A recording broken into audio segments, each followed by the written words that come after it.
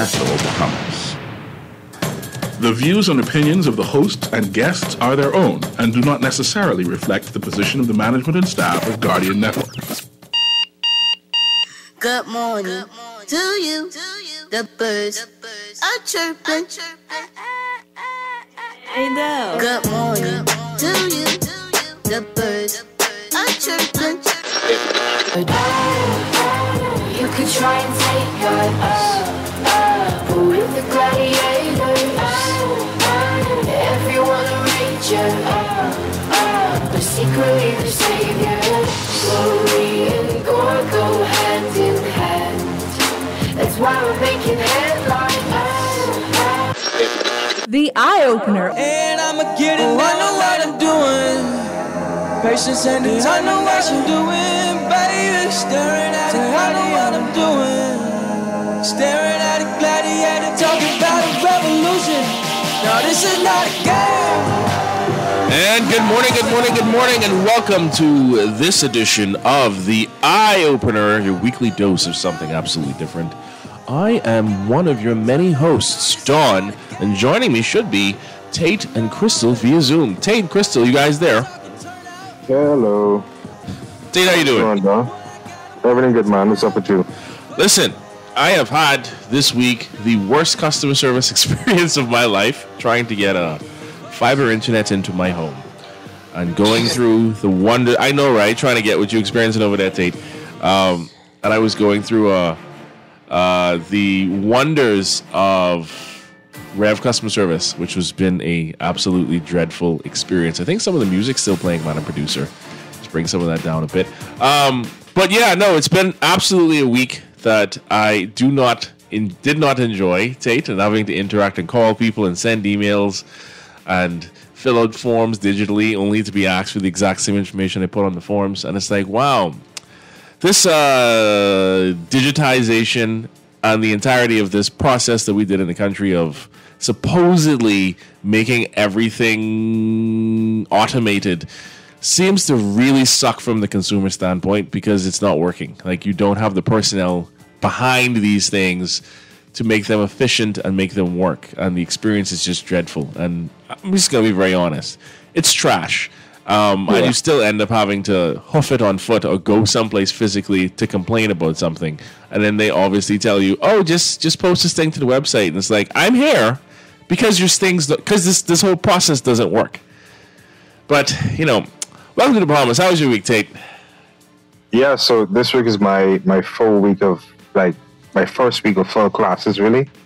Um, so I'm taking three classes a semester, um, and um, it's been pretty cool, really. I'd say, um, yeah, I got some of my first assignments back. Um, they were pretty okay. I mean, pretty good. So I'm happy with those grades. Um, and looking forward to the rest of this. My second to last, second to last semester. When is your when is your when are you done? I should be done by April, April 2025. Yeah. Wh- what is your plan after that, Tate? Are you planning on coming back to the sunny isles of the Bahamas? Well, I have to at some point. Um, do you though? Do you, do you really? yeah, I, I signed a contract. Um, Mm. Well, well, well, it's it's kind of complicated because I have a two-year residency um, requirement, but that's only if I want to, like, let's say, apply for any long-term type of visa to the United States, which I don't really have any interest in. Um, so it's not like I have to come back to the Bahamas, but that requirement has to be fulfilled if I want to, like, let's say, um, apply for some spousal visa or green card. That's what the requirement is. So it isn't necessarily having to come back home to the Bahamas, but if I want to, like, pursue some long-term thing outside of a PhD, because there's some room for that as well with the scholarship, then I have to, like, spend two years at home. Yeah. That doesn't sound. Oh, that, I, I. Well, I mean, eh, eh. so you can't pursue that degree after this, then? I can, yeah, I can. There's space for that, yeah. Okay, cool. I was about to say, does, Yeah. it sound like this was just a get in and like get out per for a long period of time situation? Um, Yeah. But yes, uh, oh my goodness, this this this in the news this week. We're gonna go into the news segment in a second, but in the news this week, it's been, um, I, I I dare say rage baiting by the current administration. Just with this situation with campaign finance and just making complete U turns. Um, egg on Or absolutely. the, the prime minister saying that uh, campaign finance is not a priority for him right now? Yeah. Yeah. Yeah. And the thing is, is like y'all was crying the hardest when Minnis first took office, stating that all these different types of people, I'm not going to call any names at the moment, uh, were financing their campaign. And Fred Mitchell himself is on record calling for the need for campaign finance reform and legislation to reveal who the donors are of these various political parties, including the Progressive Right. Liberal Party. Of, of course, I knew, you know, oh, it seems like every government, including the FM, when they get in power, all of a sudden, all the hard motors go away and their motors get dry up and stop being spitty. And Yeah. they just just not even I don't think they even forget. It's just they know the only people that really pay attention to it are those in the media, and that the average Bahamian probably doesn't give a crap. And they just say absolutely asinine things on a consistent basis. Very stupid. They just do complete 180s on positions they've had. Um, and, and, and I'm not meaning like they make passing remarks. Like Fred Mitchell made detailed statements as to why we should have campaign finance legislation. Yet you use your uh, bully pulpit basically to mention all the reasons why you think it is unnecessary and there is no appetite, no appetite uh, for any of these things to happen. And here we are. And the country continues to circle the drain of the toilet. Um, just very basic, low hanging fruit of legislation just doesn't get passed. Yeah. And here we are once again. Also, too, I wanted to say this um, for all of the people who are Valley Boys supporters. Um, I I just want to say, can you all like go away, please? Because oh my god, how many times does the Valley Boys need to be in the news? Like I I like of choice most of not all the time, but most of the time for me, right? But I don't care as much. Like the internal squabbling of the party, or sorry, of the the, the group and the situations now with the JCNP. I don't know if you follow the Tate. It's just like, just can y'all just like handle these things and then come back to the public and be like, we're done, it's over, it's finished.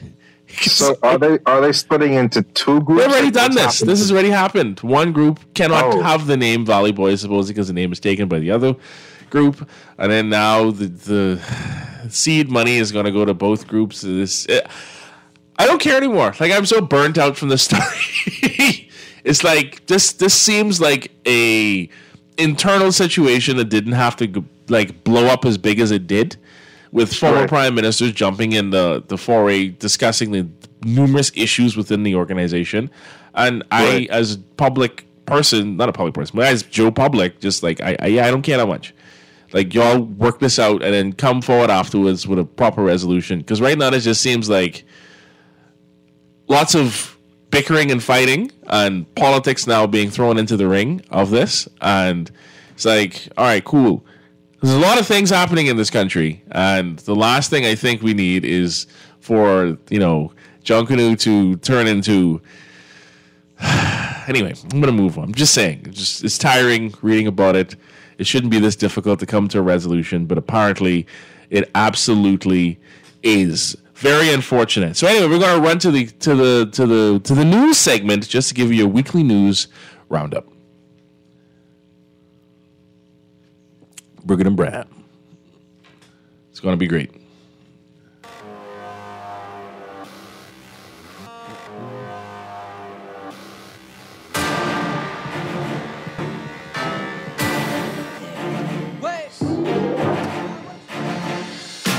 And for your weekly news roundup, just to let you know, the gas dealers uh, are set to protest. Those who all the gas stations and the, they have a union themselves.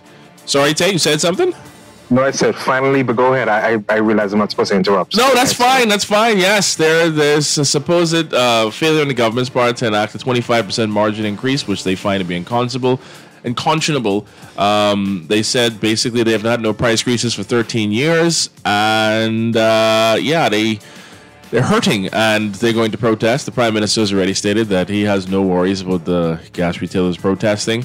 Um, now is a great time for you to go get an electric car. Just throwing it out there. Um, oh my goodness! This the of course, of course, of course. The Valley Boys back in the news again. Yay! Um, you know what? I'm just going to sum it up as they're fighting. The girls are fighting. Um, so, uh, unfortunately, a plane was ditched between Nassau and Andros uh, this week. Unfortunately, two died after the plane was ditched. They ditched in water, to my understanding. I also, like everybody else, got those alerts first thing in the morning. Um, very unfortunate set of circumstances. I was told repeatedly that it is not a plane crash. It was a controlled landing, supposedly in the water, emergency landing, that is. Um, so my, you know, our our prayers go to the families of the two deceased. Um, in the case of Adrian Gibson, a childhood friend of his is now testifying um, in the fraud bribery case. As that case continues to progress, um, we'll see. We'll give more updates as that story gets bigger and bigger. Uh, Grand Bahama Power uh, out of the woods on outages by next week. For those of you who live in New Providence or, or any other island but Grand Bahama, they've been having frequent blackouts. Kind of, they had the Nassau experience. Um, it's quite terrible and dreadful because they've also been having to pay more now for it. But yes, uh, they're waiting for a final uh, six megawatts of rental generation, and they lost their largest unit. Um, which was a gigantic hole for them to fill. They've had some engine failures.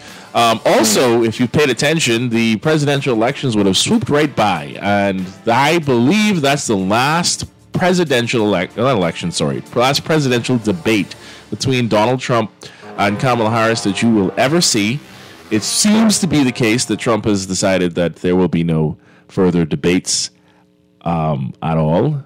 And in final piece of international and Bahamian news, Peter Nygard has finally been sentenced to 11 years in prison in Canada. Now, I think he still has a civil case that he's facing in New York, um, but he has been sentenced to 11 years. Um, and he has been deemed now a sexual predator. Now, the question then remains, Tate, why does he face no charges in the Bahamas? Well, we know why. We know why. But I'm I'm still shocked at that documentary that came out. I think it was in 2020 and 20, 2021. Um, I think was done by some Can- Canadian news, news broadcasting agency. Um, and that like, sorry, that that that documentary was pretty pretty damning. Um, in terms of like the video footage that it had, and sort of like the narratives that people were telling in in that particular piece of uh, um, imagery. But I don't know, like, so he had four victims in the Canadian case, right? Yes. And he only got 11 years for it. Um, I, was there at some point somebody saying that he was going to get less time because he'd, he'd served time? I let me check on that, Tate. That's an excellent question. I'm gonna Okay. I'm gonna hope that that isn't the case. I, I I hope I hope it isn't. oh my goodness, uh, that man just just that's that's that's some some particular people. That's their boy. You know, Yeah, that's former their boy. prime minister. That's or that's your brethren, boy. Um, but no, it's it's terrible. No, it's saying um. Let's see. Let's say Judge. If I'm going to in Canada, guilty of sexual assaulting of four women last November, Nygard, 83, was found guilty by a jury in Toronto on four counts of sexual assault. Um, allegations against him stemmed from as far back as the 1980s. He has roughly 6.7 years, you're correct, left on his hmm. sentence, taking into Yeah. account time already served since his arrest. He will be eligible for parole in about two years as he delivered the sent. Oh my goodness! The judge delivered the sentence to the Canadian Superior Court. Justice Robert Goldstein said Nygard used his wealth and power to prey on women, referring to him as a Canadian success story gone wrong, and calling him a sexual predator. I, I okay, I get it. I understand how the British common law and criminal justice system across the Commonwealth tends to to function and operate. Um, I don't agree. I think he should have gotten more time. I agree. I think he should uh, essentially have gotten a life sentence. But again, they only can convict him off of the things that they have proof and evidence and jurisdiction of. And Right. a lot of his alleged crimes, because he hasn't been convicted for those, uh, did take place in the Bahamas. And of course, he's going to never face charges in this country because there are no charges to face. Because according to the police, when that documentary had come out, there were never any complaints filed. So Exactly. considering that the documentary alleged that they would just drive the women away from the police station back to Nygard's place. But there's no evidence of that, so nothing will ever come out of it. Just like Sam Bankman Fried will never face charges in the Commonwealth of the Bahamas. Um, because the Bahamas is not a real place. Crystal, are you there on Zoom? Did she get in? She should be. Yes. Yeah, Yes. she's in there. Yeah, she's in there. Yeah. We might, I have problems. See, we, we live in the Bahamas, so our internet is be little dude. Oh, you got that Rev Kill Bahamas internet. eh? You know we do. I know I complained about them earlier and how atrocious the customer service has like been. every week, every single week, it, it it's just no. Yes, it's it's it's it's annoying. It's dreadful. Um, but yes, the the unfortunately, like I said, I I I detest everything about that man, Peter Nygard. Um, it's unfortunate that we're in this boat again, um, having the same conversation again, and it's likely. I don't think he's ever coming back to the Bahamas, though, Tate. Probably not. He, but he, he needs to be buried, buried under the jail. I mean, I don't know how much shame he has. Because honestly, No, he's he has a warrant of his arrest there, I think, for is so for his um is so disgusting. And then he's eligible for parole In two years. That's the thing that that that that caught me because I was like, he shouldn't even eligible for that. You know, he shouldn't get any any possibility of him not serving his time in prison should be really off the table, you know. But at the end of the day, although he was charged, which I do count as a success, because if the whole world was like this country, some people Oh, would no. never see justice, right? Course. And so I'm grateful for like the countries who are able to bring big time people to justice. You won't see it here, guys. It just don't happen. Um, but unless they make some government person very angry or something like that.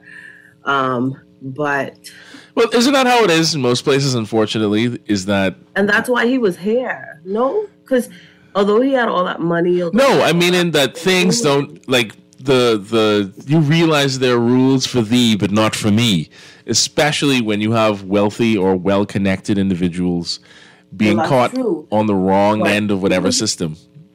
That's true, but if you, but what I'm saying is that he did not face anything here. You know what I mean?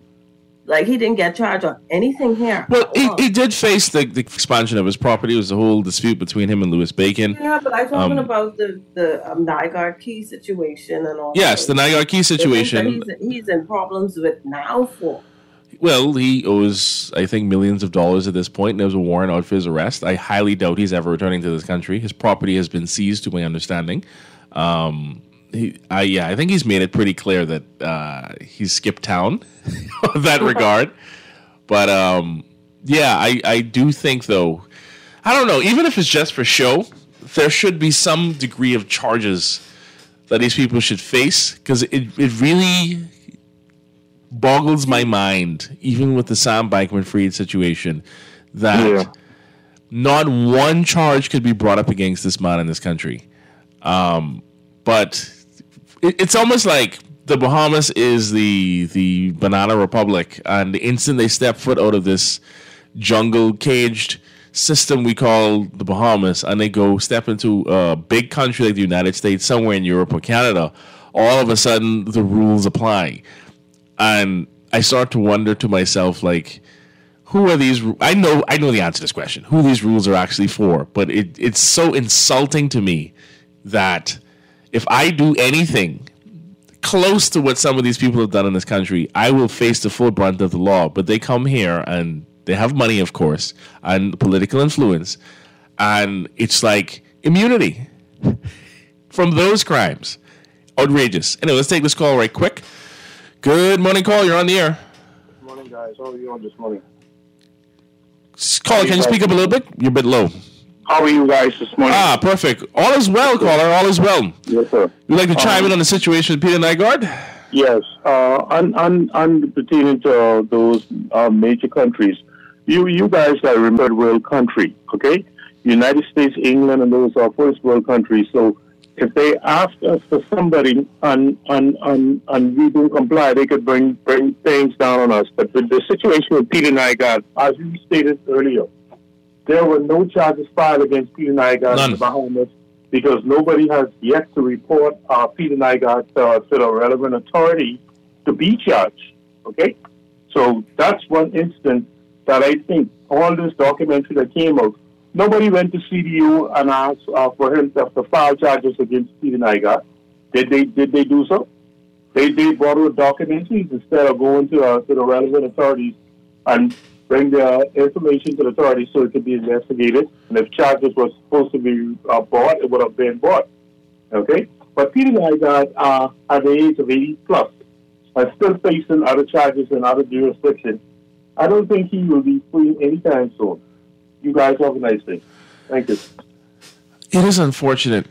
Caller, you have a point. It's unfortunate. Um, the perception of the Bahamas as being a third world jurisdiction. Um, but I think we work very hard as a society to maintain this perspective on the Bahamas. We, uh, our government works tirelessly to ensure that we remain third world. And never grow out of this. We don't change the laws that should be changed in this country. I think finally, after uh, 51 years now of independence, we're finally uh, considering changing our laws on copyright and, and intellectual property. And it's insane to me that it took this long and how many movements have come and gone in this country to try and change these laws.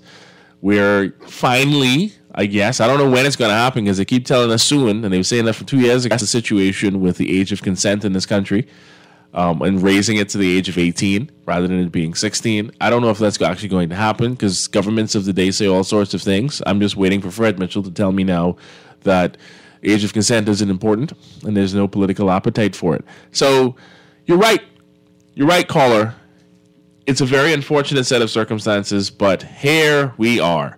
And of course, unfortunately, I don't know. This, I guess, Tate, today is just one of those days where a lot of the things that are in the news, when you actually dissect and peel back um, through them, it's not necessarily positive news um, because the BCSE conversation has come up again. And oh, it has. Huh? It has. Yes, and I have to say that I'm pretty convinced that our society, the Bahamas, as a country, um, when it comes to the skills and education front, is pretty cooked. Um, I don't think anything is going to improve in this place. Uh, the I'm trying to be positive with the way that I say this, but I guess I can't. I, I generally am of the impression that um, we don't know how to fix this problem with the graduation rates in this country. I know that there are some things that the Ministry of Education are attempting to do. Um, I've read the. It seems every year the IDB writes a worse and worse report. Not the IDB, sorry. The I guess it is the IDB. Um, about the prognosis of the Bahamas in terms of its problems with education and how the education system does not adequately prepare the workforce of this country to diversify anything. And every single year, take it's it's it's like they copy and paste a part of this report and add the new statistics of that year. And the prognosis gets worse. And then they add the statistics of the labor report, which makes the prognosis worse and we are paralyzed to actually do anything about any of this. Although we have made tertiary education free, vocational education at um, uh, the BTVI free. Well, you got to get there first. Exactly. So we putting the we putting the cart before the horse. Again. So to, like to put this into perspective, Tate, just so that you understand, the listener understands, Bahamian women are the most educated group in the Bahamas. And let me be clear. When you add up college degrees, and you don't need a college degree to be successful, this is true. But when you add up college degrees, professional certifications, which means to be certified as a, a electrician, um, I, I, I am of the impression that all contractors in this country should have Bahamas Contractors Association certification. I don't know if that legislation is ever going to pass um, in regulating that field, but in terms of all of the certifications, degrees, professional um, uh, diplomas, whatever it is, to make you a professional in whichever field in this country to participate in this economy. If there are, I can't remember the numbers, but if there are 10 people in a room and there are five women, five men, almost all of the women, four of them will have these Yeah. degrees and qualifications. One man will.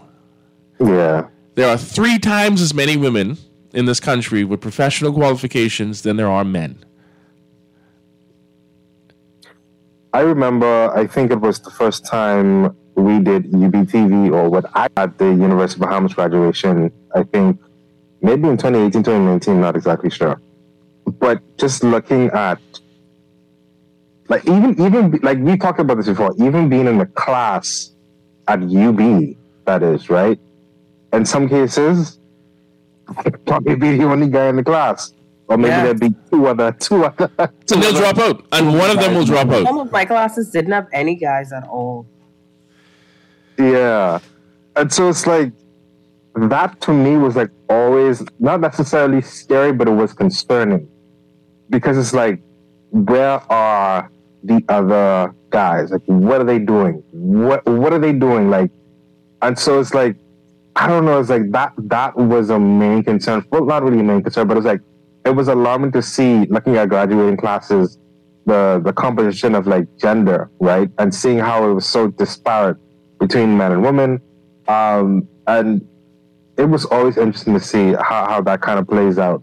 Um, and I don't know, has has has anything changed since then? No, it's gotten worse. No, Oh wow. it's gotten worse. The the, the last set of statistics um, was it seventy five percent female, twenty five percent male.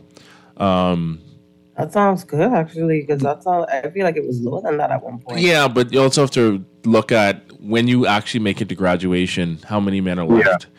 And Oh, that's what I was. That's what I meant. oh no, I was just talking about the general statistics of I think it was like the population of the students. Huh? At one point, if I'm correct, sixteen percent male graduates out of the entire. Uh, maybe my numbers are a bit off, but it, it's it's not far from there. Sixteen percent of the low. entire. gra- I will. I. Ooh, now you done it. Now you done it. It was- yeah, it was very low. I know it was low like graduation class for UB. It was so bad. I remember I wrote a story about it before too. So I'm It's so I'm, I'm depressing because you you, you want to see more men, right? Because that's a part of diversity. But it's it's ironic because globally, and most of the media that we consume is international media. Most of the media that we consume is from like the larger countries, the first world countries that are producing a lot of this, official news and stuff like that, and statistics. And then you hear so much about female empowerment and stuff, which is relevant and a good thing. However, you, we look at our realities in, in developing nations, right?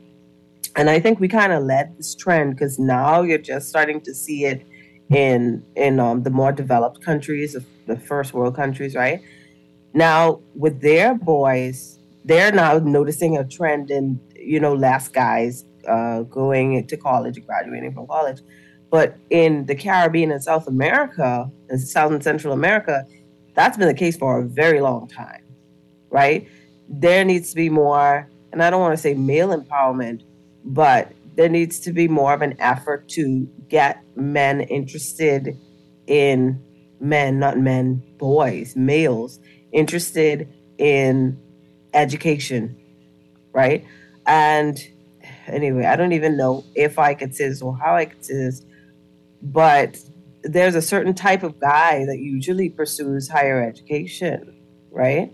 So, th- like all of these things, like you, you not when you break it down, and it's a global trend, right? When you break these things down, you really start to see the big gaps in between uh, everything that's that's happening with our. Well, our you also have to look at the ages. Well, the data isn't available. I think if you check the 2023 labor force, I don't recall them breaking it down by age. It is broken down by sex, so man and woman, um, in terms of the statistics, and they, they they go into pretty good detail. I think in the 2023 report, um, which I think everybody should check. You should always be paying attention to these reports. Um, I reckon, I, I reckon, I, I also am very curious to see the breakdown in terms of age of which groups and subsets of Bahamian men are the most educated.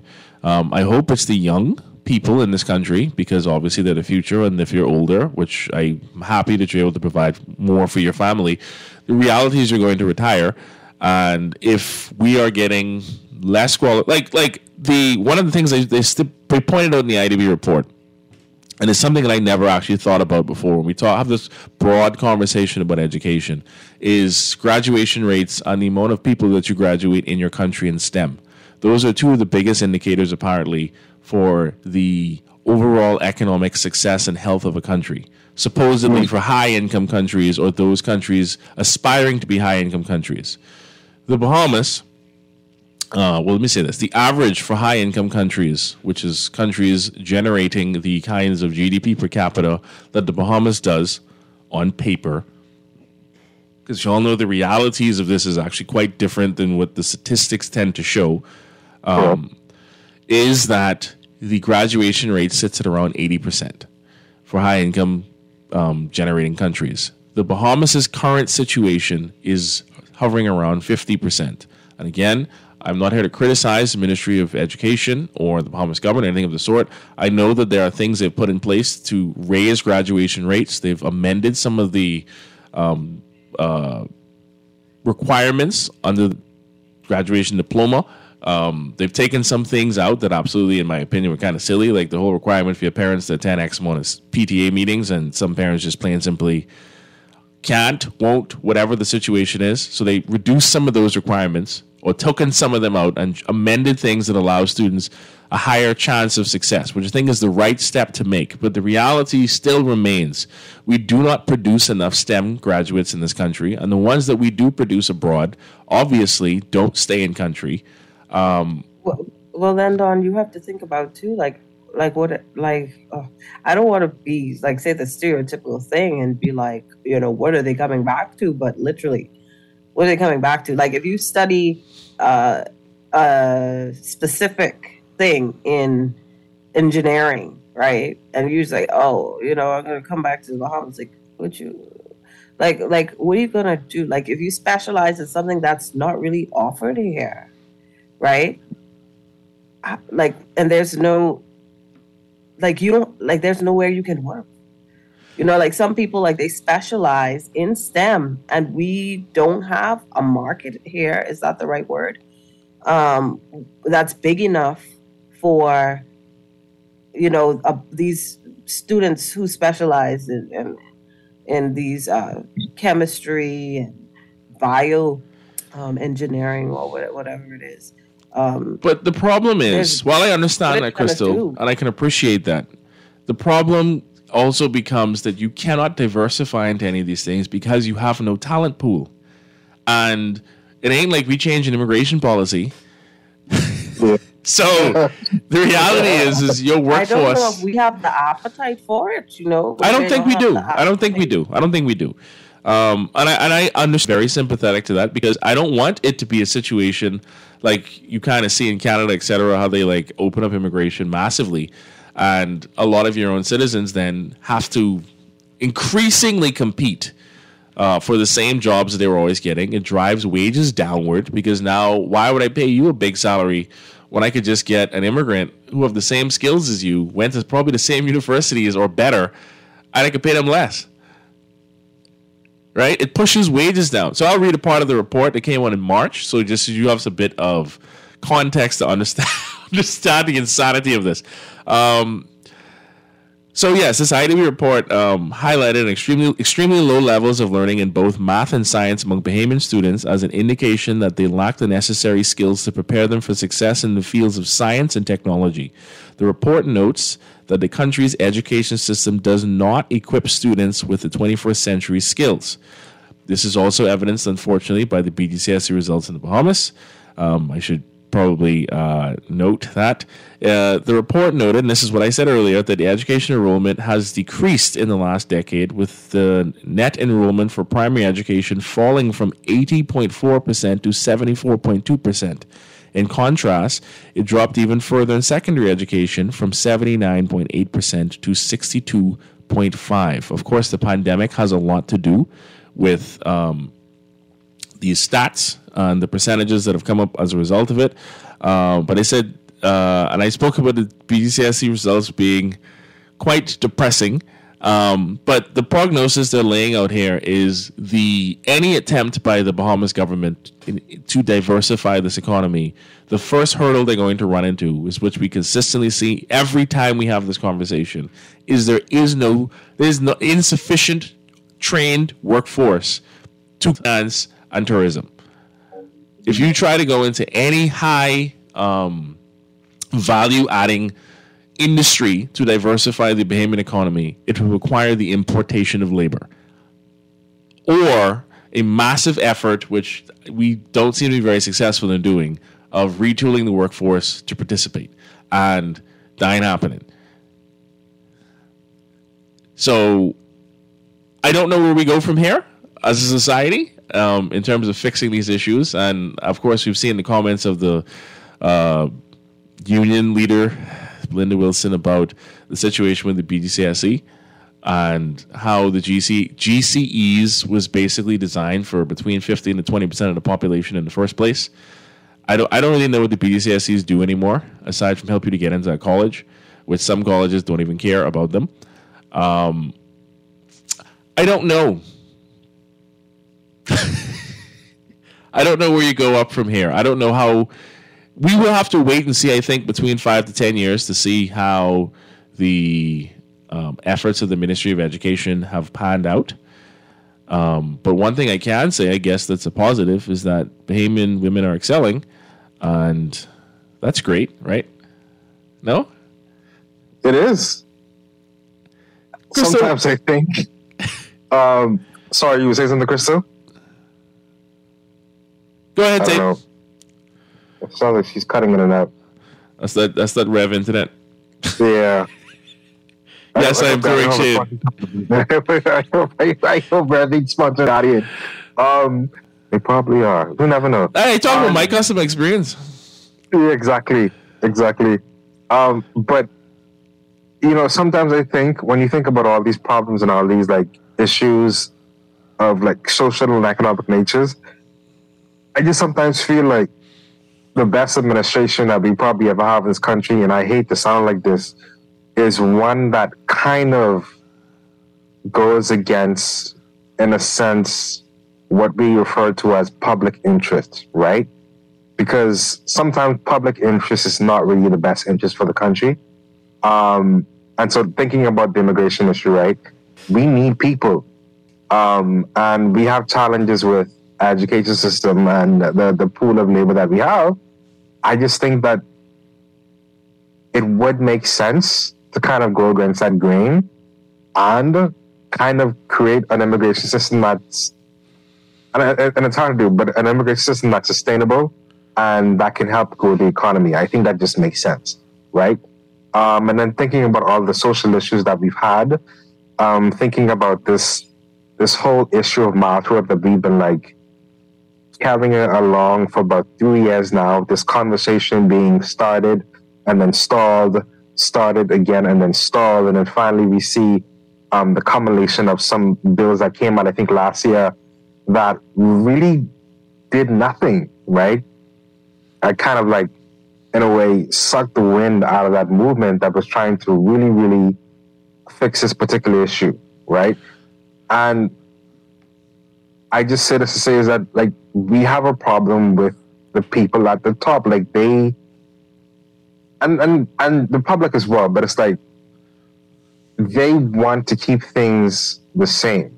Um, and as we have with how the status quo is currently going right now, we will continue to, to stagnate. We will continue to, in a sense, devolve as well if nothing drastic happens or if we're forced to, right? So I was like, I think I think this was a conversation that you were having with someone else this this week, Don, about um, this idea of change, right? Um, and the fact that whether it will happen um, from internal sources or external sources.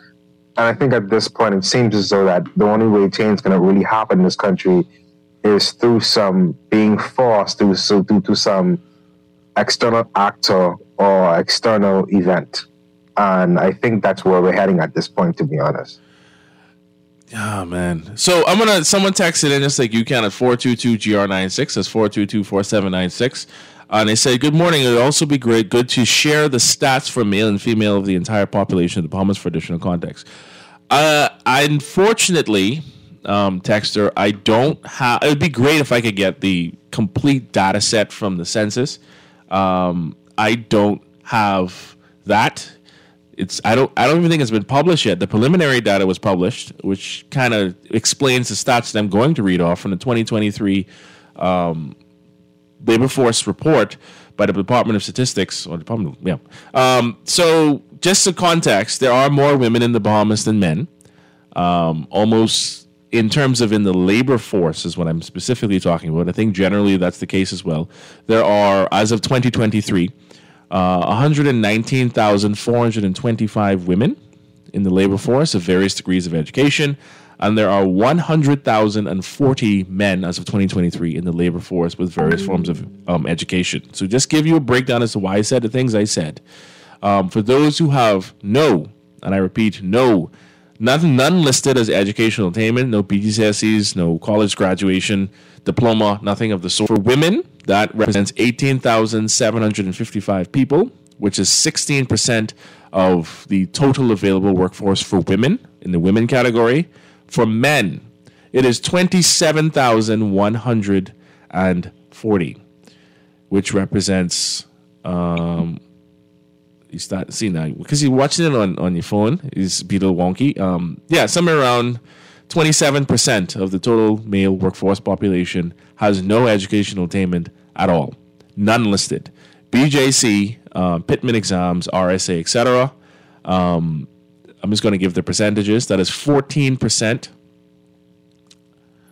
of women, and for men, that represents uh, 13% of that entire population. So going back to what I talked about, degreed professionals, whether it be professional certifications, like you get your phase one for an electrician or Bahamas Contractors Association, wherever it is, whatever professional certification, whether it be IT, C++, etc., um, you're looking at, unfortunately, uh, women represent 40,295 in that group. Men in the Bahamas represent 17,615.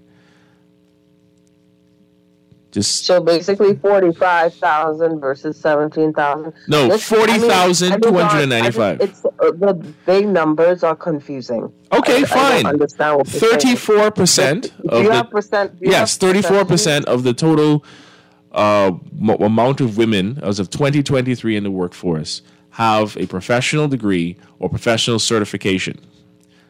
Uh, 18% of the men men in the workforce have equivalent.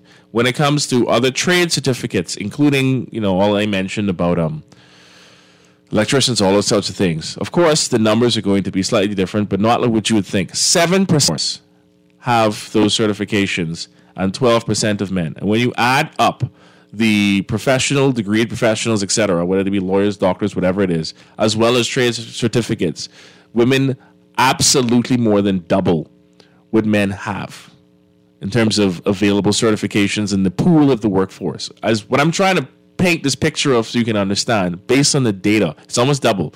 Based on the data, we do not have enough trained professional men in our country as we probably should. And And so I think the tech. Sorry. No, I was just going to say the the to, and again, this is all publicly available information. You can Google this right now. The 2023 um, Labor Forces report. This is the latest report when you go on the website of the government website to find a PDF for it. Um, only thing I'm trying to paint here is just so you can understand is there is a gigantic gap, and this pans and plays itself out when you look at the statistics of people's earnings over the course of their lifetime. And I wish we had these breakdowns to say like particular neighborhoods, which we don't, but particular neighborhoods, the level of education in each neighborhood between men and women, and you'd have a very good understanding of violence in this country and the inequality that plays out across the board in the Bahamas. And it all stems from education. But you were saying something, Crystal. Oh, I think she disconnected again. It, oh. my internet's going in and out. Yeah, it's going in and out. Go ahead. Um, but but I think the taxer or caller was, was asking, you know, how many um, was the percentage? So on datareportal uh, dot com, it says that the population of the Bahamas in 2024 is 52.3% is female, while Yes. 47.7% is male. Living in urban centers is 83.7%, while 16.3% live in rural areas. Which, I mean, Family Islands. urban, rural, it, yeah, Family Island, but but the inner cities are also kind of rural. So I mean, it. it the, the, well, you I mean like the living like conditions a can be. you know. But yeah, I honestly, to be honest with you, when I first read these statistics, I didn't believe what I was reading. Um, I, I, I wish we had the. Uh, I don't. I again. I don't know what's been happening. The last report we had for um, real wages across the country was 2019.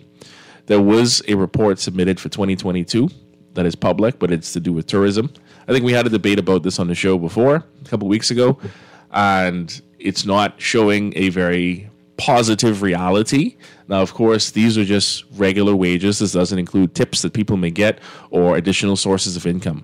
But the wages are still catching up to where they were pre pandemic for a lot of people. And the it's going to be increasingly a challenge for the Bahamas uh, to move. And this isn't just my opinion. These are tons and tons of reports, whether it's written by the IMF or the IDB, um, about our situation and the need for us to address education. I don't think we take education serious enough. And I just want to be very clear about this. No, I'm not pushing for everybody to go to college. I do fervently believe that there's a lot of power in you being an electrician, in you being a carpenter, and you being a stonemason, or just being a business owner or an entrepreneur. There's a lot of power in all of these things, but at the same time, you need some degree of education to do all of those. Because if my electrician Tate can't do math, I scared. I'm terrified of that reality, right? And I've seen people at times on job sites struggle with math, and it's like you know you gotta, uh, we gotta do better as a society, and you can't pivot. You cannot diversify your economy out of the paradigm that we currently have with the level of education that we currently have.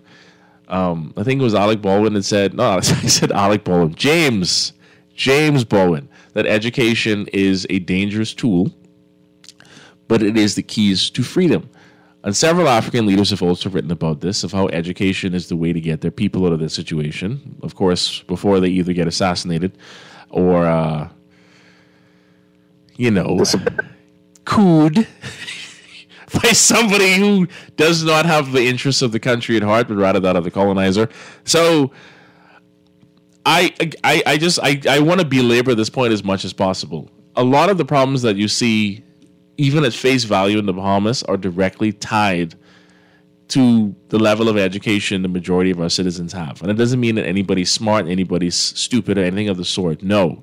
It just means the level of opportunity available to a lot of people. Something as simple as going to a dealership and being able to take out a loan to buy a car is predicated on your level of education. Because if you work a minimum wage job, you ain't doing that. And even in this country, unfortunately, even if you work a, a, a quote unquote good job where you're making 35, 45, 50,000 dollars a year in the Bahamas, the economic realities of the cost of living put more and more demands on the salary that you make. So your ability to simply go do something like that can also be impeded.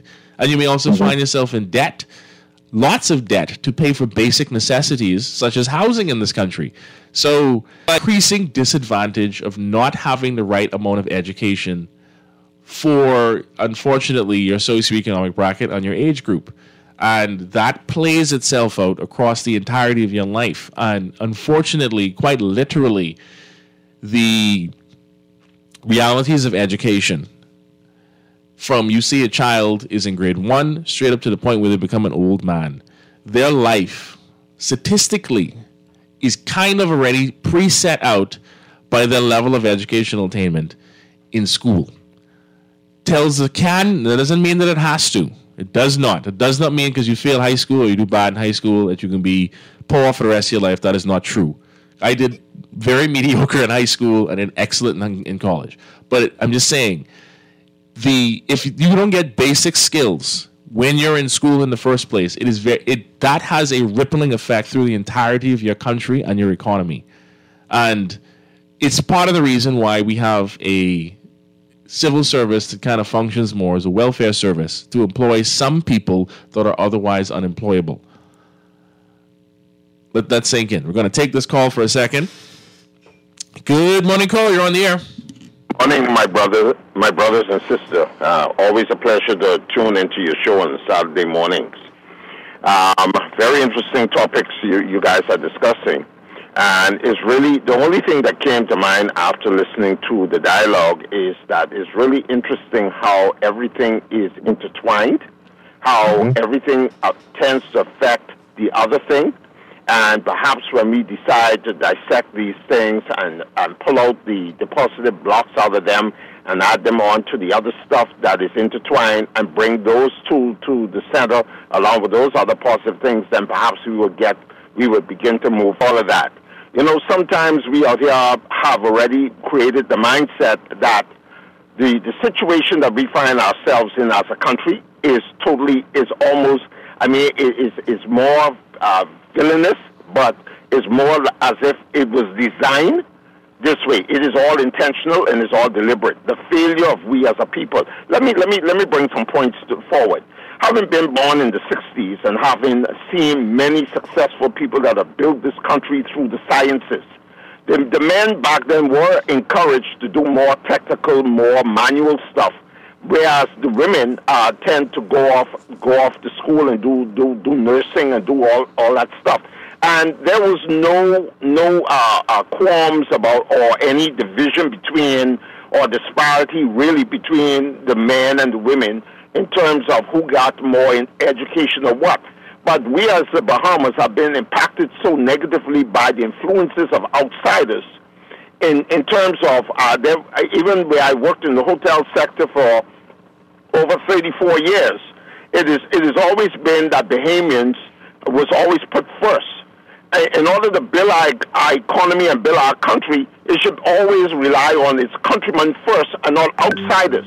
But we get this disparity where we got so many foreigners in the country now, displacing some of the Bahamians who are qualified and well qualified, even through uh, academia, well qualified to hold many of these positions in this country.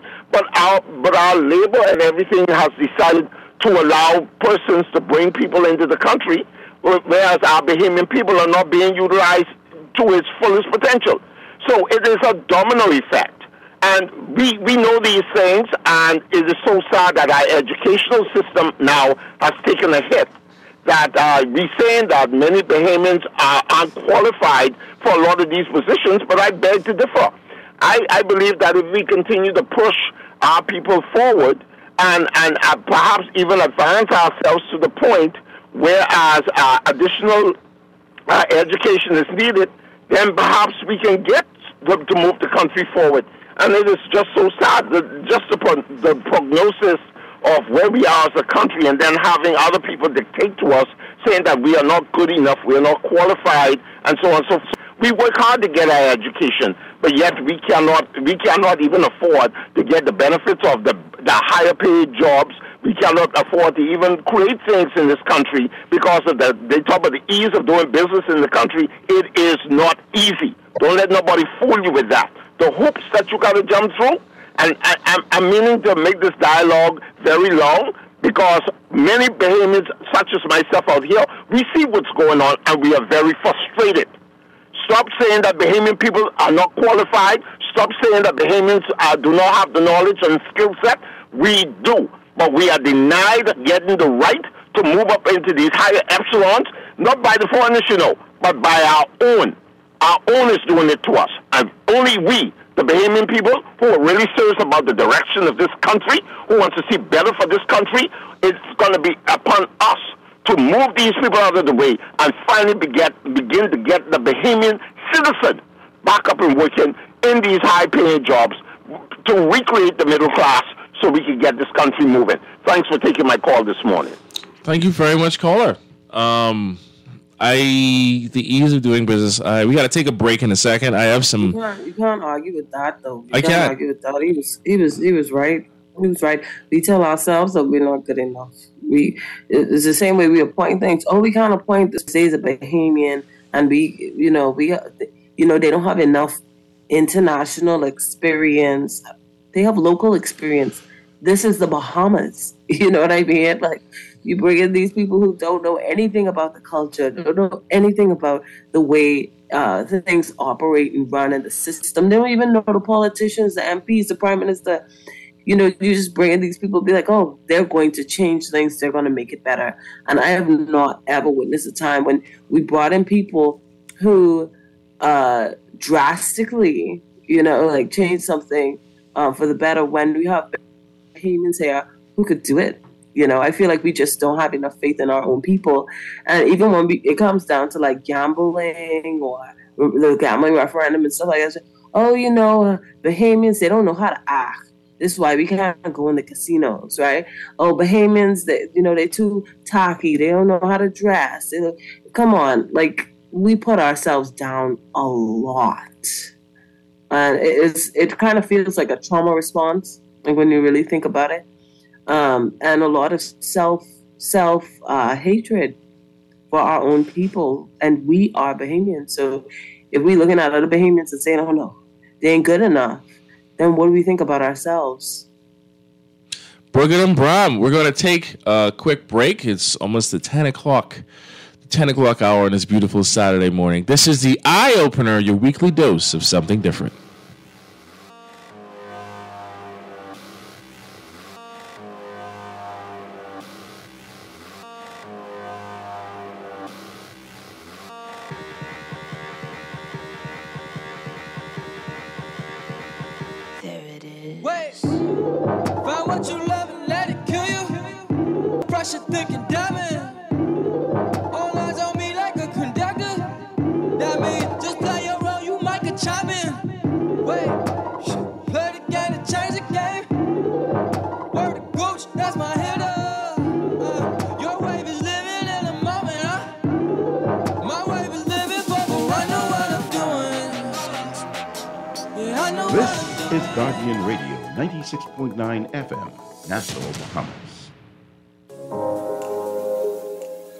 The show? Want to give your support? Become a sponsor today. Call 302 2300 for our rates and packages. That's 302 2300. Become a sponsor on Guardian Radio 96.9 FM. Fresh news, smart talk, all day.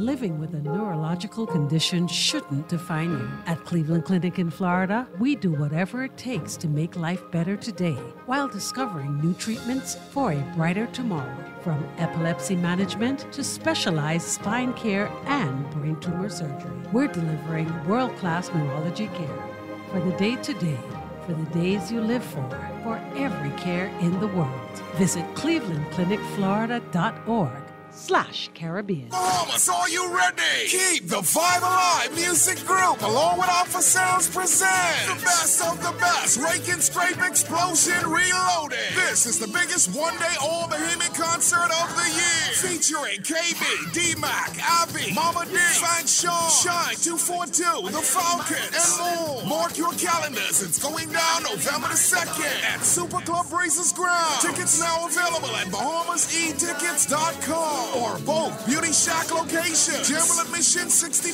VIP, Skybox, and Skypods also available. For more info, call 394-0819 or email at gmail.com. Experience the magic once again with more legends for one night only. Come party with us November 2nd at Best of the Best. Rake and Scrape Explosion Reloaded.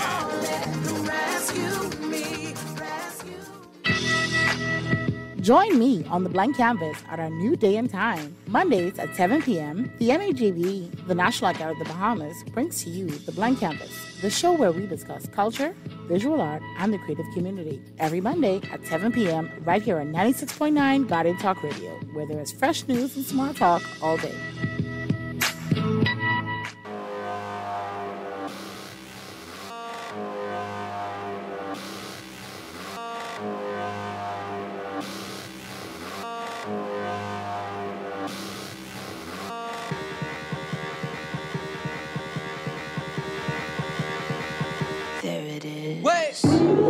And welcome back to the Eye Opener, your weekly dose of something absolutely different. I couldn't do that voice with a serious, with a straight face. Tate, you still there? Yes, I am. How's it going? Great. Oh, Tate, you don't sound happy at all.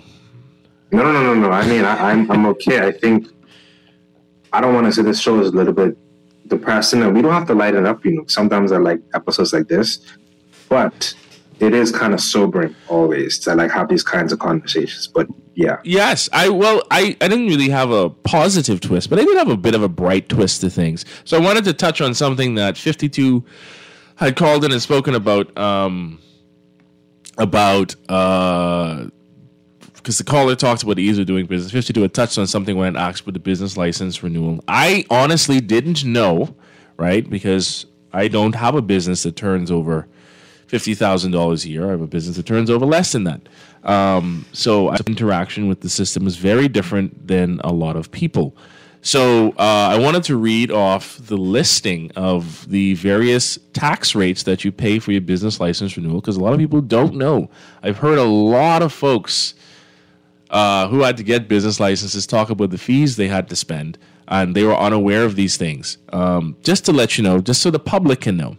Um, for most businesses, taxes are, this is reading directly from the government's website. Taxes are calculated based on gross turnover and calculated at um, $100 for a petty for a petty business at a rate of 0.5% to 1.25% on turnovers ranging from $50,001 to greater than $5 million per annum. So for your business turnover on the rates that you'll be paying to renew your business license, um, if you earn between zero and fifty thousand dollars, you will pay one hundred dollars a year.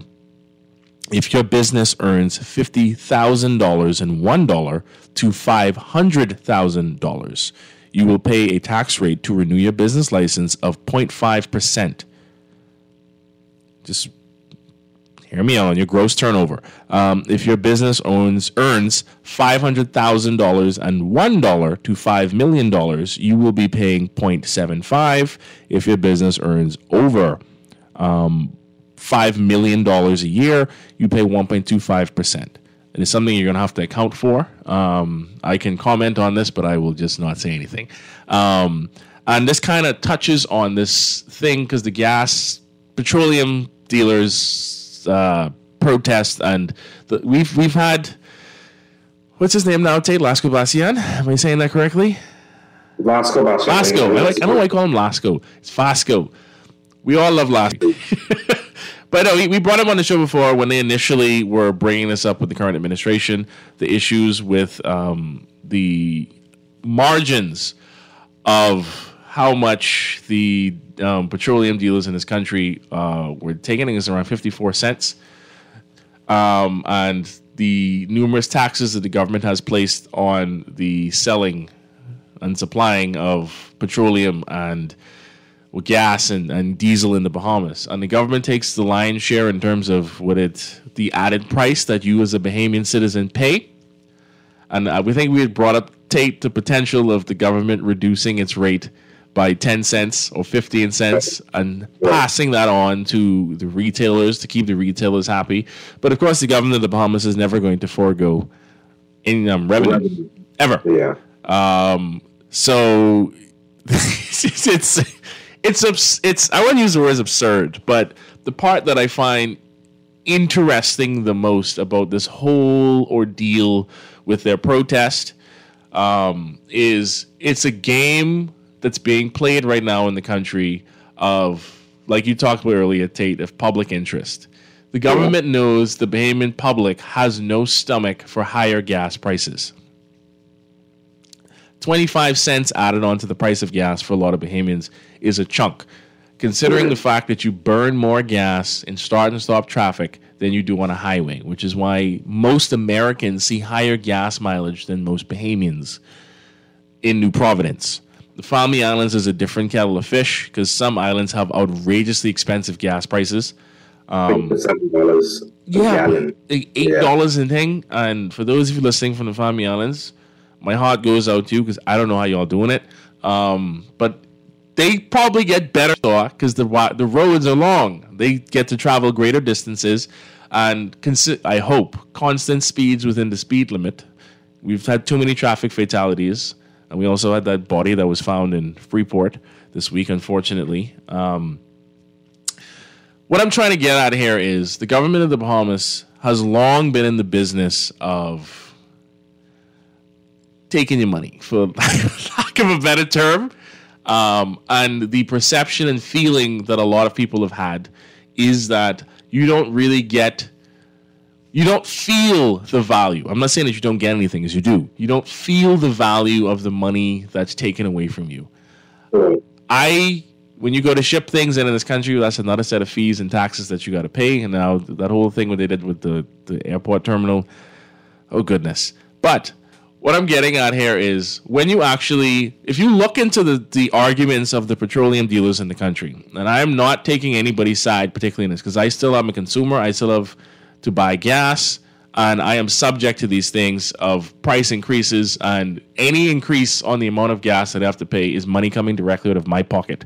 The same thing for most of our listeners, Tate, who do not have electric vehicles. Some of them have hybrids, but we still got to buy gas.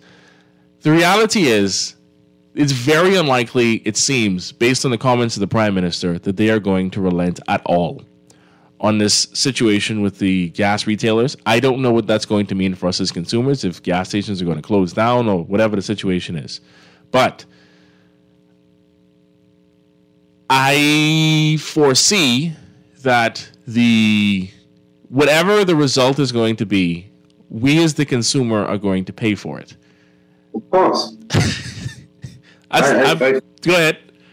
I think that's it. I'm, I'm, I'm really going to be interested in probably tuned in um, because I haven't really been tuned into Bahamian news as of late because it's very depressing. But I, I'm going to be tuned into like whenever this particular event happens where you have this strike upcoming, and I want to see what is going to be the outcome of that, right? Because I think how this particular administration kind of does this sort of communication, and it's very much so like not necessarily pandering, but playing this game or playing this act is that they're going to be they're going to be forced to force their hand, right, and to make a concession to the the gas station dealers, right. But at the end of the day, the consumer, like like you say, will get fleeced, um, as you have been fleeced.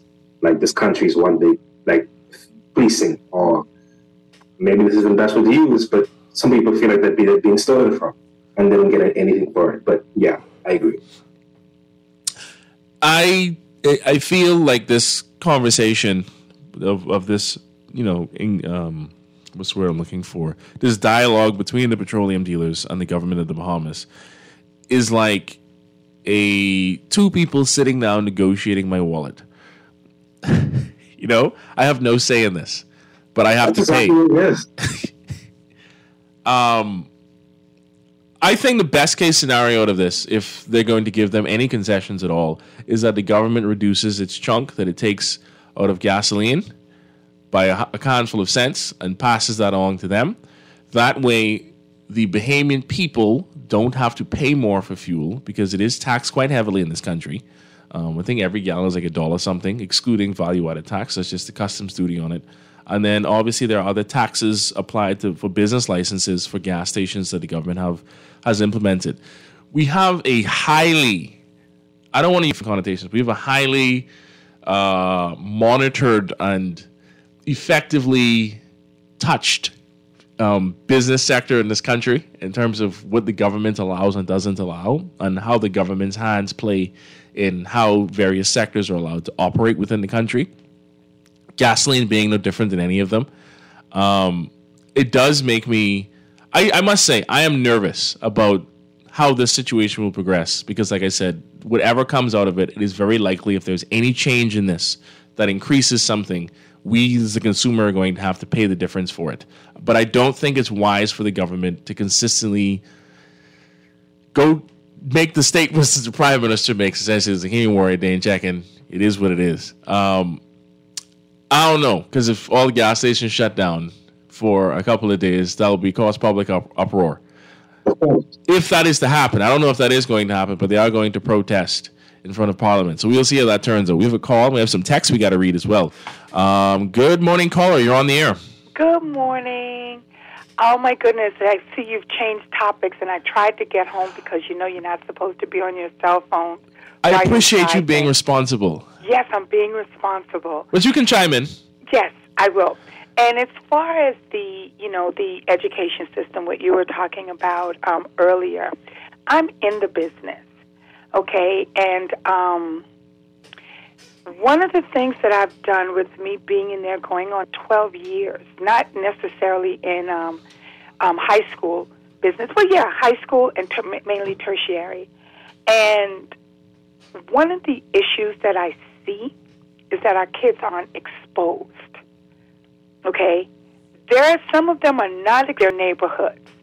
Okay? And I, I, I'm in college counseling. And I could remember when I first started, at just about, I would say about 80% of the students that applied for college with me, it was three degrees that they looked for biochem, law, and accounting. And I would ask them, well, what are you going to do in biochem? I don't know.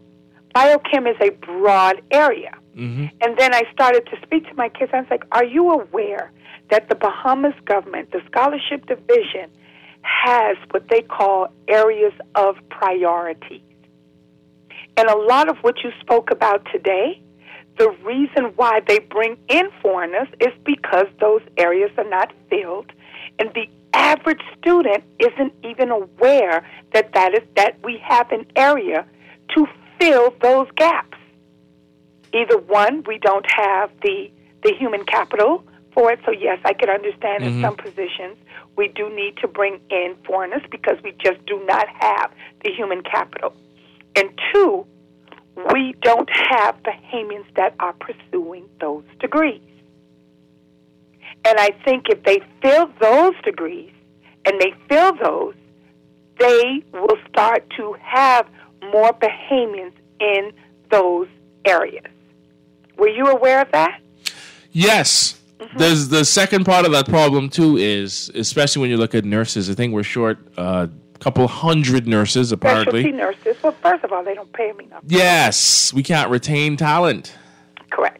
Um, same thing with teachers. We have we've had a teacher. My mother's a teacher as well. We've had a teacher shortage for mathematics teachers and music teachers since I was a child, and that has persisted all to this very day. Right now, for mathematics teachers um, to enter the, the the education system through the Ministry of Education. Same thing. Sometimes even PE, physical education teachers are they call, they call for. It, you'd be shocked. The people of this country would be shocked to know that the things that we have shortages of here, because they're unaware of the fact that these shortages exist in the first place. But what we oftentimes see, and I like the fact that you brought this up, caller, is the importation of the labor. And they we see it as them replacing Bahamians. But the reality, unfortunately, is there are no Bahamians to replace in a lot of these positions. Correct. That I mean, we, we, we don't have the human capital for some of them. But in some areas, I believe it's because they aren't even aware of some of these positions and the fact that we need those positions here in the Bahamas. So when you're going off to school, you know, like we need audiologists. We need those. Yes. Okay? We need we need occupational therapists. We need those. The police need them especially. They they need an actual occupational therapist to service them. Exactly. And there are so many different things that you they that that they need. And I guess kids are just not applying for those areas. They're not going off to school and getting degrees in those areas. So when they come back, yes, we want them to stay in the U.S. or wherever they're getting their degrees from to get some experience to come back home. Definitely, you know, because of the OPT um, um, options that they have in the U.S., especially if you're in the STEM, you're able to work in the U.S. for three years. Mm-hmm. You come back home and you bring, you know, you bring, you're bringing a, a wealth of knowledge and experience back home. But the thing is, when they come back, maybe it's the pay disparaging, you know, um, and or other things happen and they decide to stay. But we need them to come back home. Hmm. Thank you so much, caller. We're going to dive into that actually. Thank you. Um, I, I got to read this text in a second, but one thing I want to note because Tate, you're you're currently in the states right now. Um, Yeah. A thing that oftentimes happens with especially gifted or just who are in the right place at the right time and in the right programs at the right school with the right people is you get what's called the H-1B offer. If you don't know what that is, it's an H-1B visa for people with specialty skills that are in short supply in the United States, and that can range from the STEM fields to something as simple as not simple, but something like literature or some Yeah, special education thing. They will give you an H-1B visa to stay in the United States because they need those skills in whichever city or state and part of the United States there is. And a part of that is quite literally poaching talent. And Tate, it is very likely that if you decide to do a PhD, or depending on how your program progresses, you may get an offer. Yeah, um, I think I possibly wouldn't accept it because I don't want to live for the long term, but I, I do get that point. Um, but I do want to add something to what the caller said. I looked up that list, um, and first of all, the list is extremely long. That is concerning. Um, but some of like some of the read some of them. Okay, so I'll, read some of them. Right. So let me pull it up again. So there's like social sciences, humanities, right? Applied behavioral analysis, anthropology, archival management, archival materials and processing, counseling, foreign languages, gerontology, aviation studies, airport management. Um, there's a whole list for engineering and construction, construction management, quality. So you have uh, accounting, which is local only, actuarial, actuarial science, conservation management, um, financial services and education. There's like general, special education, counseling, mathematics, like you said, sciences, library science and English language. Then we have the natural sciences, which is another long list of education, uh, forensic science, marine studies, mathematics, meteorology, renewable energy, soil and plant science, and then of course have tourism, hospitality as always. I won't read those. Um, then we have the arts, like theatrical performance, fine arts, dance, multimedia arts. And then there's health, technology, and lastly, land development and real estate. And surprisingly, um, the occupation that I'm currently getting a degree for, policy development, is also on here. So, yeah, the list is long. And surprisingly enough, some of these kind of like priority areas, one would assume to be very basic or very necessary to a country. Um, that is surprisingly, surprisingly like a priority area for us as a country. So that's concerning as well. But yeah, just after the point. Are you seeing the problem? Yeah. The problem is society actually needs skilled people. And that doesn't mean, again, I got to be very specific about this. There are Bahamians who have gone to the States who used to work at water and sewage or BPL, who were linemen or, or or did manual labor. They dug trenches. They know how to operate a backhoe. You have people Bahamians who are forklift certified. That is their claim to fame. They're forklift certified, and they get poached by America on a consistent basis. I'm Yeah. so serious right now. It is society needs specific sets of people for society to run properly. You need garbage men, or should I say, sanitation, um, sanitation workers. They're an essential part of society.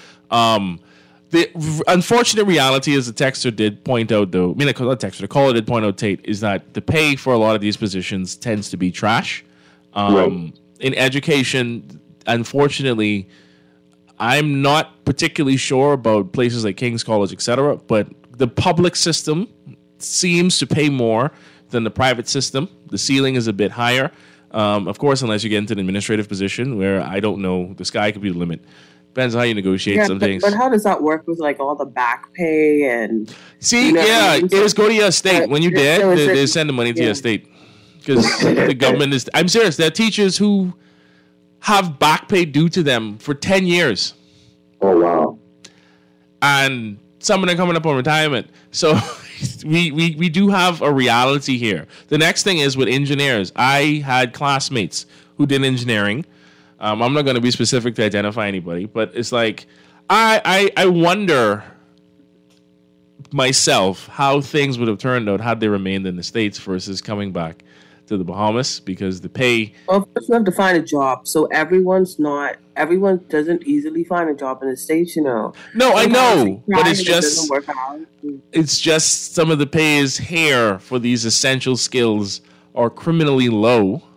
And I mean, in like, you have people who come back with, um, I don't want to be specific, but come back with uh, specialized degrees, and we paying them twenty thousand dollars a year.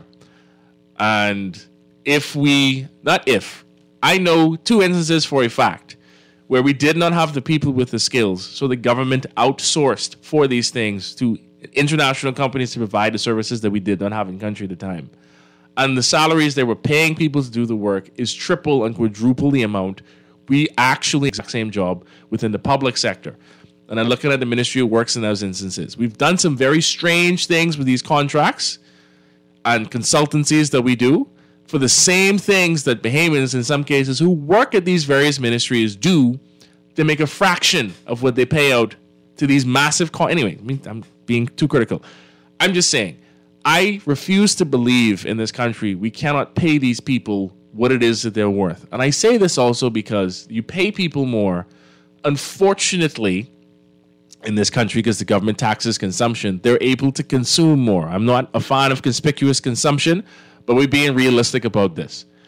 The money is still going to come back anyway, back to the government coffers. So I, d- I just don't understand because I know of persons who have engineering degrees who ain't making no money, which kind of boggles my mind of how these things work in the Bahamas. Um, and Tate, I will say this to you. I strongly advise that if you return and you pursue a career in uh, political, not political science, that's me. Um, if you pursue a career in public policy, you probably don't get a full time government job. Oh no, that, that's not going to be the case. Yeah, I've I've made a solemn vow that I will never work for the government of Bahamas. So that's my like. You can work at a, you can get a contract, or you can work for a private entity that has a contract with the government. There are a handful of those to do some policy work, um, or be a consultant. But I don't think getting a direct, being a public officer for whichever ministry is going to be in your interests. Um, going to be fulfilling at all. Yeah. yeah, yeah. And I and like I said, I do believe that we have the room to compensate people for these various professions. Um, the economy is big enough, in my opinion, in the Bahamas. And some of these services, like I said, we pay outrageous amounts of money in some instances to bring. Now, the issue with the nurses, I have no comment on that because we the way we the way we handle that situation, even with teachers, because we I think last week we talked about it, and someone texted in and was like, they and a handful of their friends have their teaching degrees from the University of the Bahamas. They do the teaching practice and everything, and they waiting on calls from Ministry of Education, and they just home. And I don't know what to say to that. What, what can you say to that, Tate? I don't even know. I honestly don't know. Because it's like you have the people, but you just ain't engaging them because of the bureaucracy and the speed by which um, government inefficiency works. I'm going to read a text. I'm going to take this call very quickly. Someone says, Good morning, the eye opener. We have a lot of problems in this country. We simply pretend that things are good in this country. We are just like our Caribbean brothers in some aspects. The intellectuals down south are more honest in their assessments of their countries. Jamaicans writ- have written down the underperformance of men in education and its effects on our society. They have done that from the 80s, long before the Bahamas ever did. And it is true. Jamaica also has clear and clear stated policy positions on issues that they publish on a consistent basis through JIS, which is their equivalent of our version of the Bahamas Information Services, or BIS as we call it. Um, they publish their policy papers on a consistent basis, especially when administrations change, even though Andrew Holness has been there for quite some time now. Um, yes, in many aspects. Um, I see this call. You can call in just like this person. It's 626 323 6232 325 4316 or 325 4259. Good morning, call. You're on the air. Um, my brothers and sisters, uh, I'm sorry I had to call back a second time. Make this very fast. Go ahead, man. You know, we had a, a, a the father of the nation, our, our dearly beloved uh, Sir Lynden Oscar Pindling back in the day. He had a program where you know uh, those persons who were pursuing certain studies, they they they were allowed to do their studies, and then um, if the, the opportunity was not was not readily available in the country, they would then the government would allow these persons to come in for a time period Sometimes he would give them two years uh, or three years. But uh, while here under the three years, then they would take the Bahamian under study, whether it be two persons or three persons. And, and, and for that person with the specialty to teach and train them, so when they leave in the two or three year period, then uh, the understudies would take over. Today, unfortunately, that appears not to be happening you know, you have persons who came here, they were here for 10, 15, 20 years, not saying that, yes, perhaps they, they too weren't looking for a better way of life. But then to have that person uh, still in the country holding the position and, and having the understudies then, having the knowledge and skill set, but not, uh, not, not being given the ability to raise up to the ranks to make the kind of monies that many of these persons come in and they make uh, you know, it, it's like shooting yourself in the foot. And I think this is part of the message that is that that is uh, missing. Um, I heard the commentary of of your previous caller, where you talk about the the services uh, may not be readily available in the country because either from a naivety standpoint, uh, but the thing is that the government or, or the people, the government structure itself should know what is what is needed here in the country and, and actually uh, push to have persons trained and, and, and, and educated in those areas to fulfill those positions. You know, it's so many, it's so many things. A person is not going to do something that they didn't know uh, is needed here, still don't know. But it's up to the, it's up to our our institutions now to to bring the information out to the public domain, what specifically is needed, and then encourage our students who perhaps, as your previous caller say, you may be pursuing something, but then the thing that you're pursuing, you may you may be able to do a PhD or do a bachelor's into into something else that is tied to that that is essential to the country. But knowledge is key. We got to know what's what's what is needed in the country, and then push programs that's going to provide the necessity for us to fill them. And it's as simple as that. Okay. Thanks for taking my call. Thank you very much, caller. I will say, on a positive note, um, I see that it is not public, so I can't be terribly too specific.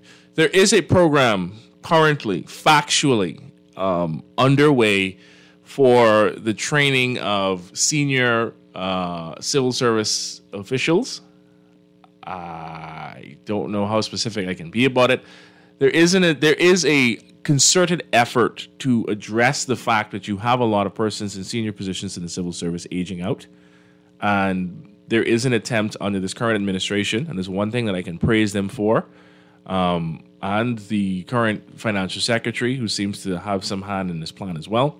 Um, positively, when I say this, to address this issue and put uh, trained young professionals in a lot of these positions in the first place, and to actually build a professional uh, component of the Bahamas Civil Service. As it's a program that I don't think has ever existed.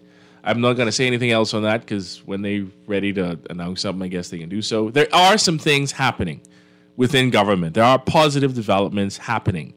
All these things. Um, and the other unfortunate part is um, you still have to wade through the water of dysfunction in order to see a light at the tunnel. And the daunting task, Tate, of you taking that massive salary hit to participate in the public sector in the first place is unattractive, especially if you're not politically connected. You're not a PLP or FNM uh, family or supporter.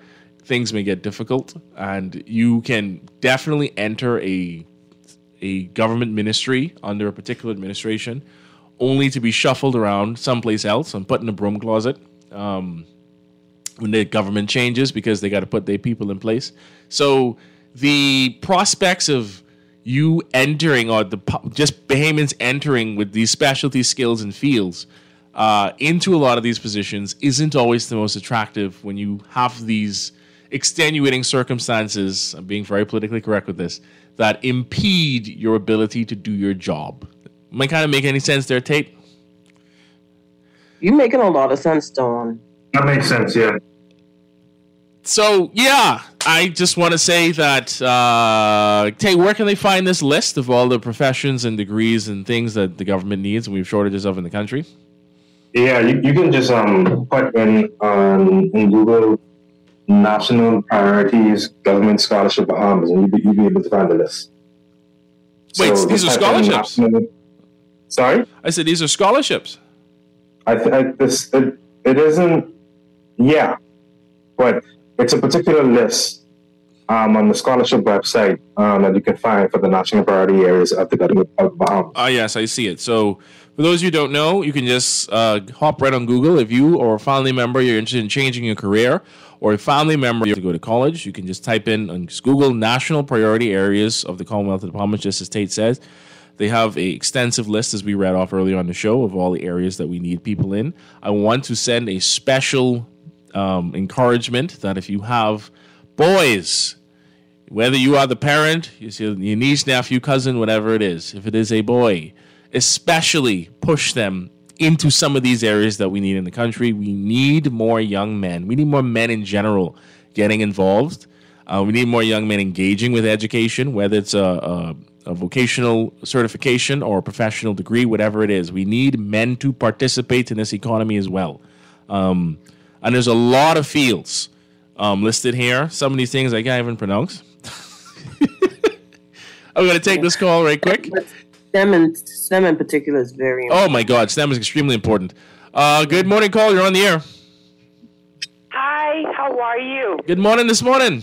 Okay, I'm, am I on the air? You are absolutely on the air. Oh, hey, okay, because I was calling. I just heard. I just called a few moments ago, Yes. and I just wanted to let you know that all of those areas that you see, the government will give you a minimum of seventy-five hundred dollars, especially if you're going abroad to pursue those degrees.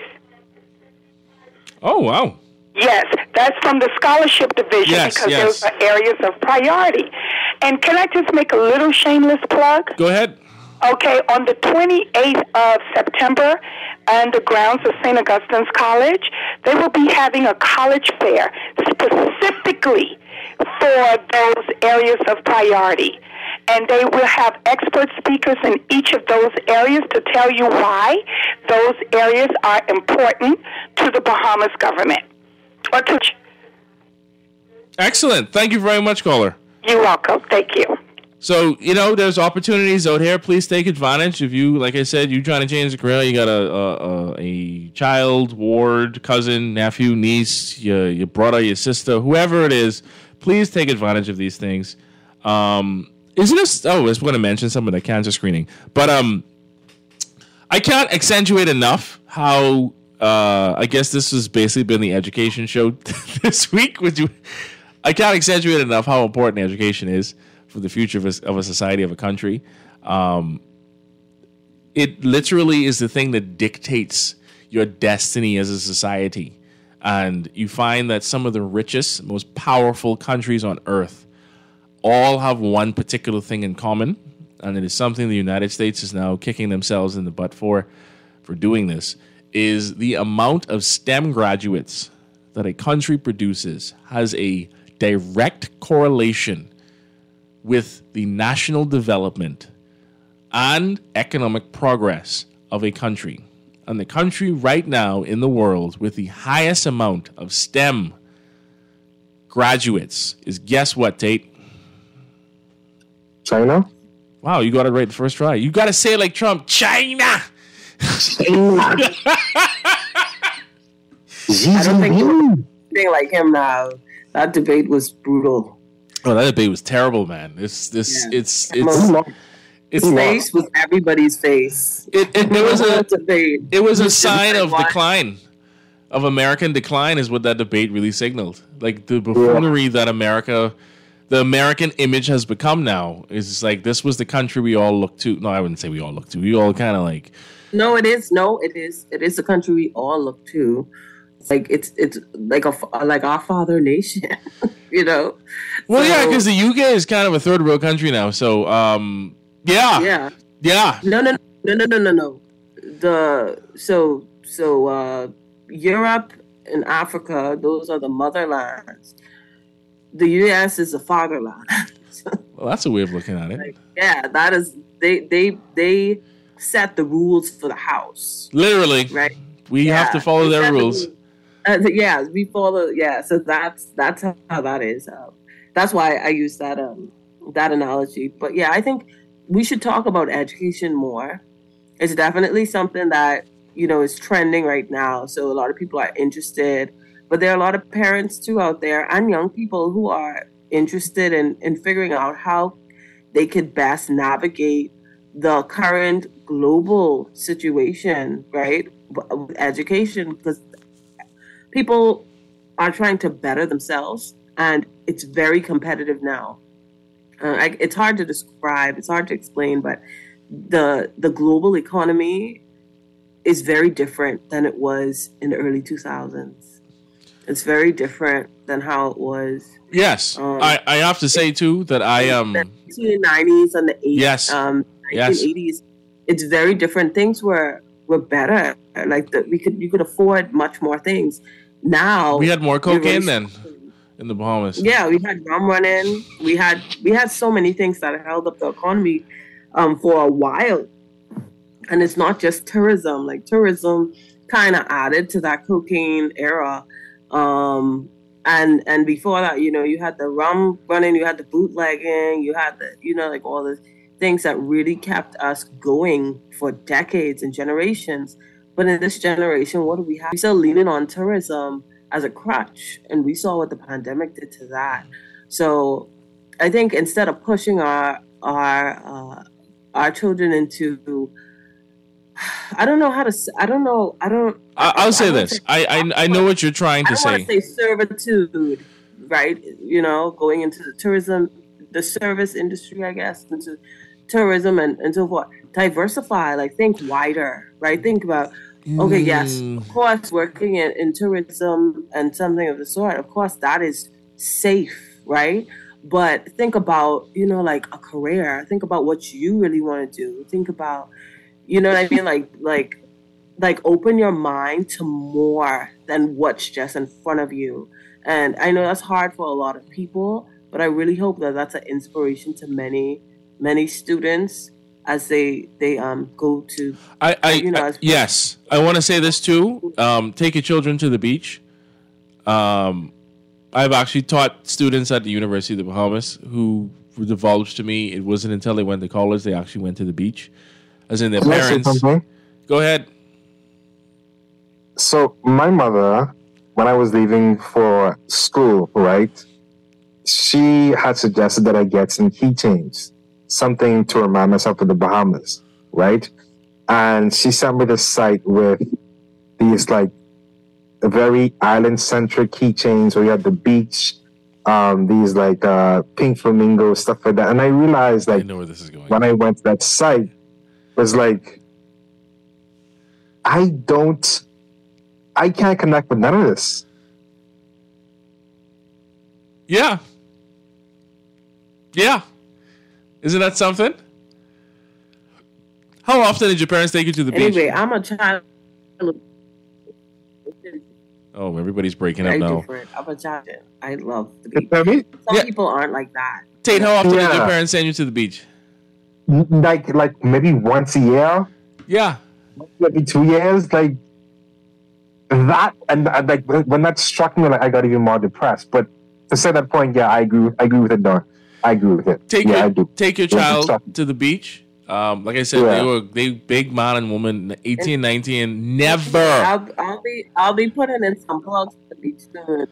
Good. I'll be putting in some plugs to the beach soon. Not just that, not you just the beach. Take your child out. There are events actually that Yes. go out and take advantage of at the beach with your family.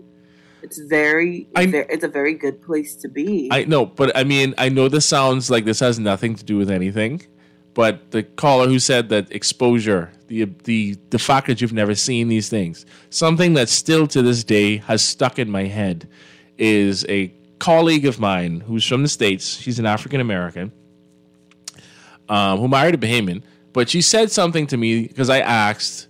Why would you want to come here if all of our so many of our people are trying to move to the states? And she said to me that you don't understand the power that the visibility of the people that leading your country looks like you does for people. And I said, I don't understand what you mean by that. And she says, because she's from Florida, that all the people who run the country and the people who own the money are very different than the people who are part of her community. So to, to basically just be very frank, they're not black people. The money of the Bahamas is very diverse. You have white people and black people on that money. And because they represent the people that added the building block that it is. And but jokes aside, there is a power to the people, so at least the ones governing, right? That doesn't mean they run things, but the ones who are governing, looking like you, is a powerful thing. And the exposure to that opens your eyes and your mind up to the possibilities that you can do things. Or even if you're a full grown adult, business opportunities, things that you can do that you didn't know you could do, markets that you can tap into. Because you're not exposed to things, you have absolutely no idea, no frame of reference. I still gotta say, it is mind boggling to me that you live on an island and there are people in this country that have never, not in this country, in Nassau, that have never been to the beach. Yeah. That is representative of the issues with the education system as well. It, it isn't that we smart, we dumb, none of those things. It is the exposure problem. You don't even know that these opportunities exist in the first place. You were saying something, Crystal? Yeah, I think it's a curriculum thing too because I we went to do a I I went to do a presentation to school and I was like, oh yes, that's right by Saunders Beach, and the children were like, what? Where's that? You know, this was a school like in the Fox Hill area, and they're just like, oh, where's that? And I was just like, uh, you know, like right after Junkanoo Beach, you know, you go up Western um, West Bay Street, and they're just like, huh? Like, what, what are you talking about? Like, they were so confused. And I was like, okay, so Montague is the closest beach. And they're just like, what are you talking about? And I'm like, you go to a school in Fox Hill and you don't know where Montague Beach is, and you are a junior high student. I'm like, that is insane. like, that, like, we should be teaching children, we should have like the map, like, what's happening in geography class we talk about so many things that are so technical and highbrow and what's right in front of our faces. Like we're not meeting the students where they are. And I think that's something that really has to change, like showing the students, like taking them outside the classroom. And I know that it is it has its challenges, right? But even if it's once a year, right? And actually showing them where and parents could do this, teachers could do this, whatever, but there needs to be like an initiative where you're taking children to show. Um, I remember what this one um, public school teacher said that she just took her students on a field trip in a bus, and they just drove around the island.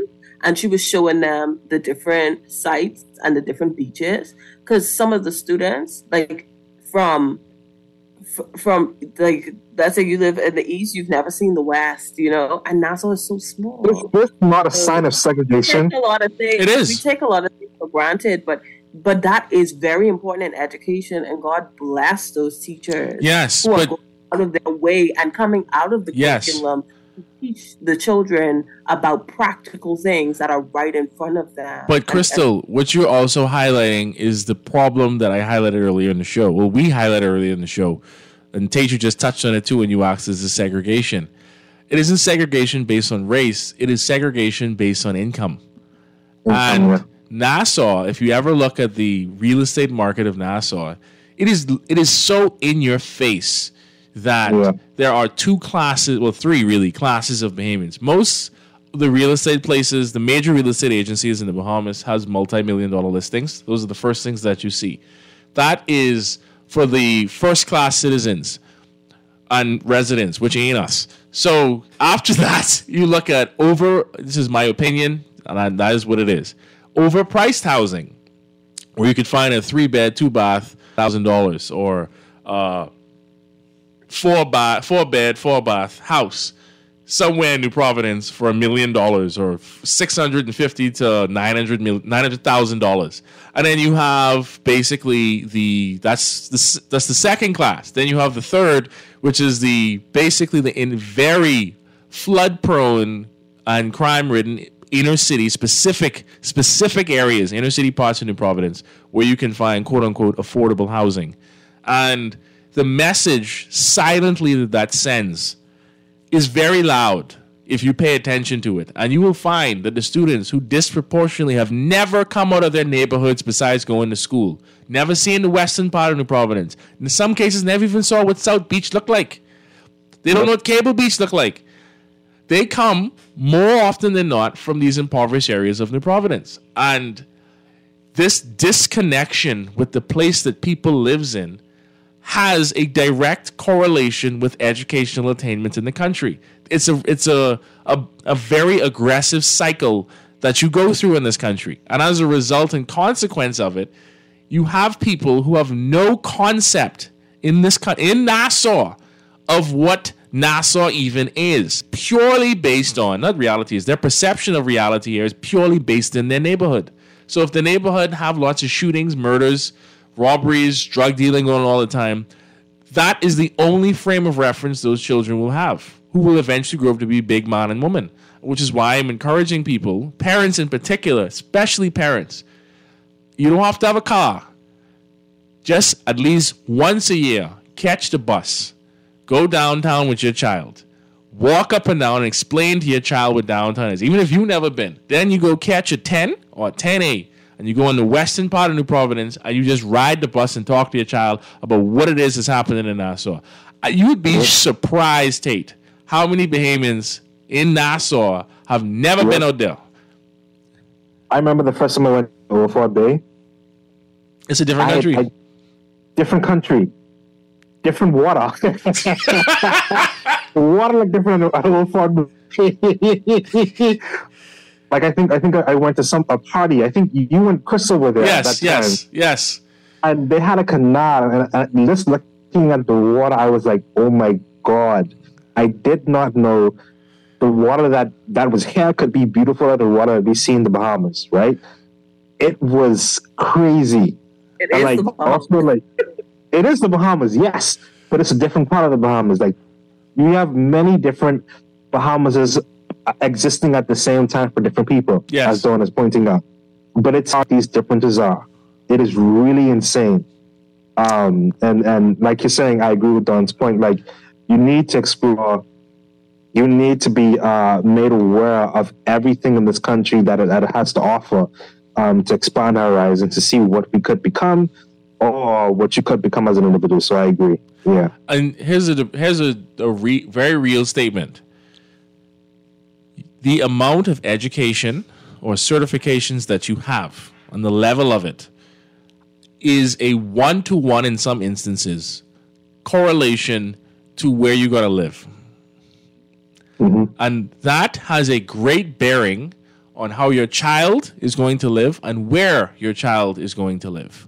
And the reason why, and I don't know what when this simply changed in this country, reason why so many Bahamians, uh, the parents of boomers in this country, I don't know if that's the silent generation or the greatest generation, one of them, their parents were adamant about education. The whole Bahamianization initiative we did in the 1970s of sending Bahamians off and to, to school and they'd come back and, and have these top tier positions within government. That did factually happen in this country. A lot of people climbed the social socioeconomic ladder in the Bahamas. But the level of education, professional or your profession, I should better say, will dictate the future of your family in terms of your children, if you have children, and unfortunately will dictate, fortunately and unfortunately, dictate the future of your country. So if most of your citizens do not have, well, let me not say the most, if you have, which we kind of do, around 40% of, I think it's a little over 40% of people graduate well, leaving high school not achieving a high school diploma. The statistics that we currently have in the 2023 labor um, uh, report where it shows the chunk of people that do not, I think it's like 27%, especially of males, who have no educational attainment, not even a high school diploma, let alone BJCs or BGCSEs. That is going to grow. And when that number grows, these people cannot make enough money in this economy that we have. Minimum wage cannot, people cannot sustain themselves off of that. That is a great indicator of how poor you're performing as a country because these people have to eventually go and have children. I would hope these people eventually participate in society. They have to vote, they have to eat, they have to pay electricity like everybody else. But their ability to participate in the economy is handicapped because of the level of education that they have. Now, of course, we have some programs, the summer bridging program. Um, the University of Bahamas does. I think BTVI has a program to bridge too to give, try to get people to be able to qualify to matriculate into these institutions.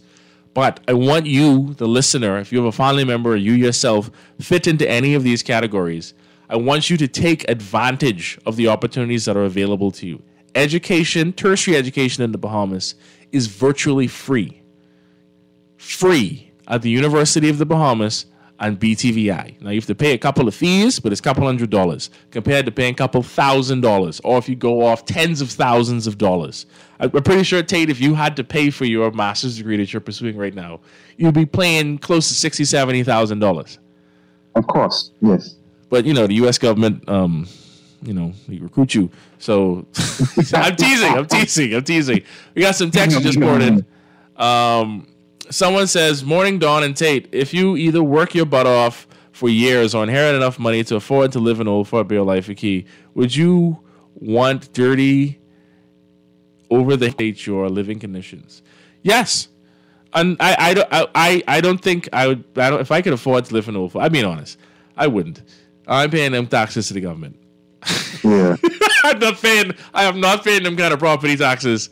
But kudos to y'all that can afford to do so. And I'm shocked by some of the people that I know that can't afford to do it. But you know, it is what it is. Um, good day. Please discuss Bahamianization in more detailed terms of education. Um, I think we can. I think we have a guest we can bring in um, sometime before this month is out. We're going to make this a priority, guys, to discuss this.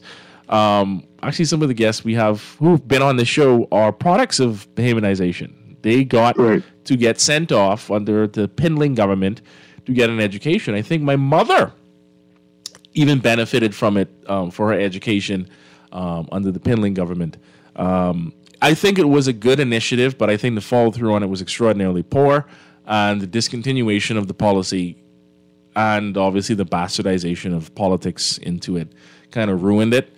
Um, Yeah. But someone says, I'm not sure if our education has survived Bahamianization in regards to the education system. Thank you. That's an interesting Do you thing. think, do you think the politicians need like a little workshop? Like, um, to say that, okay, you know, so what did you think? Uh, what is your view on? Uh, Doesn't org do that? Tate? Uh, uh, like, Well, Workshop of, of a nature where what, what, what do you mean exactly, Crystal? so, so like during this workshop, they get to really think about what like uh, nationalism is, what does it mean to make things better for the citizens of your country?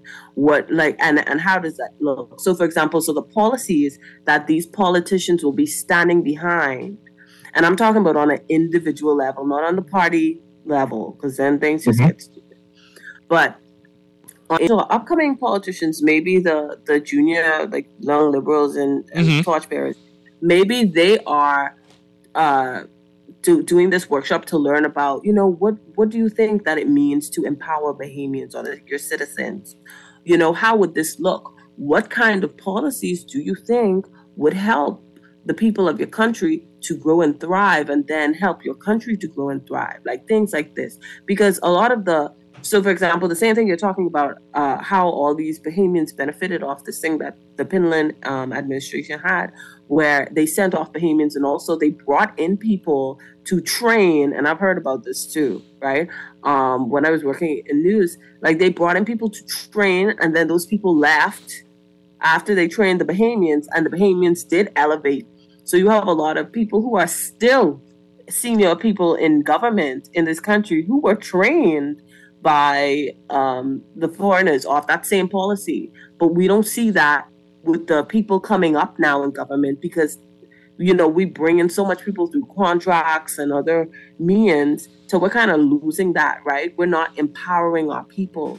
So I think that maybe a workshop for politicians is that a thing, Tate? Is that possible? Is that uh, un- So that's part, part of like what I did uh, um, at org, um, but it wasn't directed towards politicians.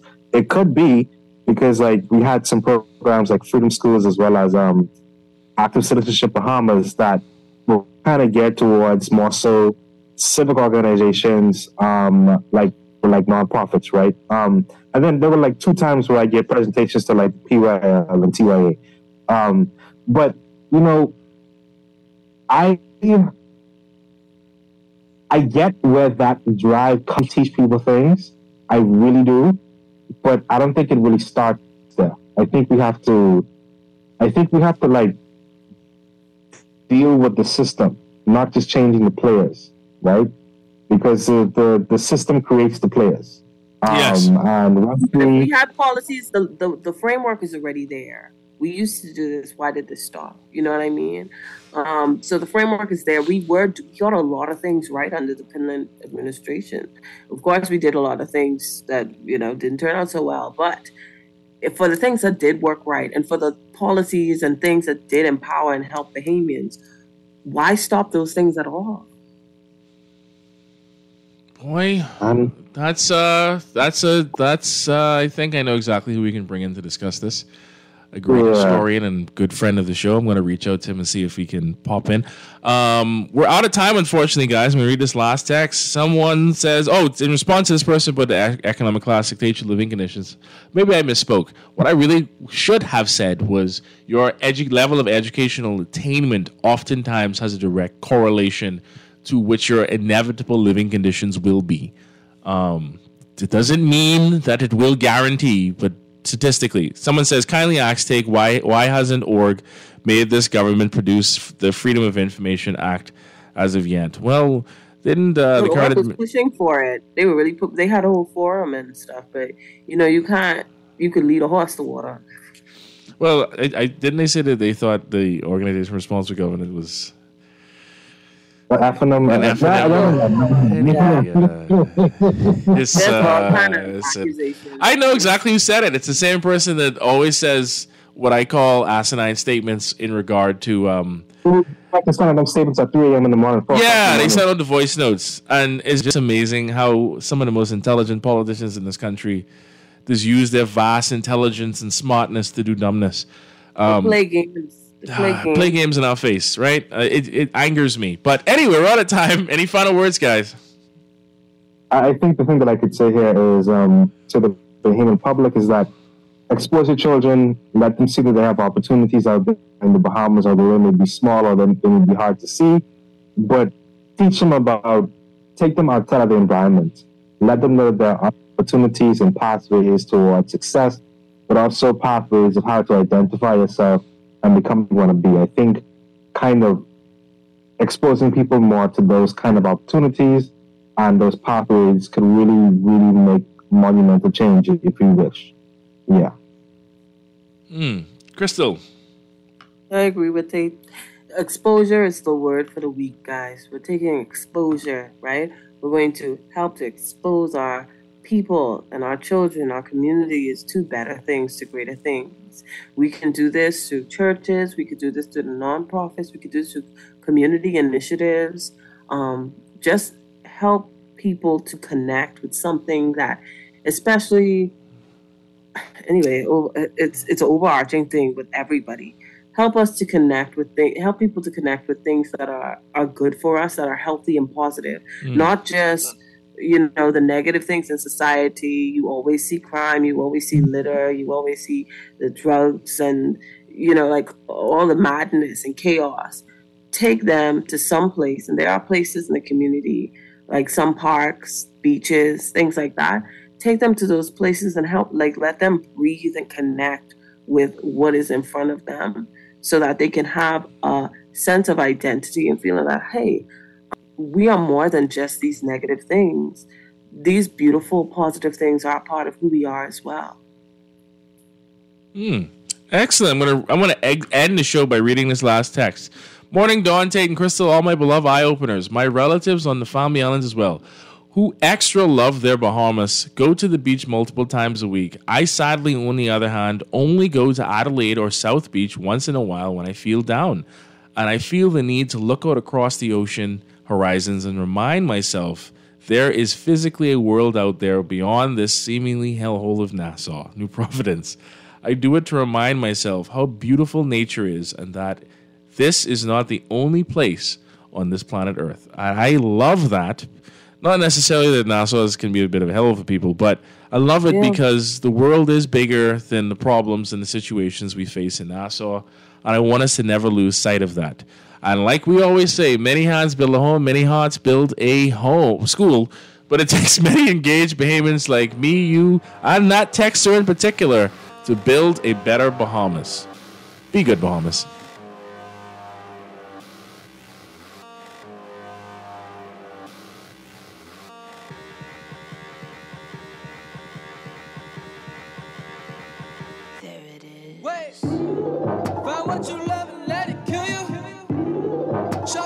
pressure thick and diamond. All eyes on me like a conductor. That means